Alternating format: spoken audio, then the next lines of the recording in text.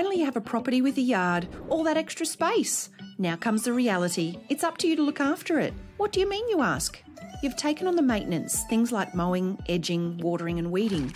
A bit of work each week can save many backbreaking hours and hard earned dollars in the long run. Despite our extreme Wagga summers bringing on high temps, little rain, plus the seasonal water restrictions, you still have to keep an eye on your yards to keep them in a reasonable condition.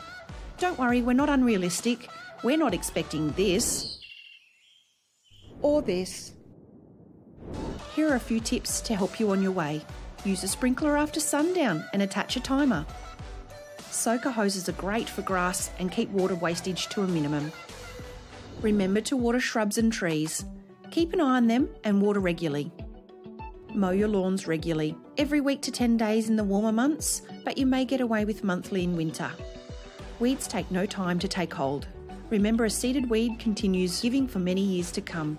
Regular weeding is your only defence. Catheads can find their way into your carpet and your feet. We definitely don't want that. For full bloom in spring, make sure rose bushes are pruned by the end of August. If you have a four legged family member, remember to scoop the poop. If you have safety concerns about a tree in your yard, please shoot us a repair request with a photo or two. Your safety is our priority. Now, time to get out there and enjoy relaxing in your yard.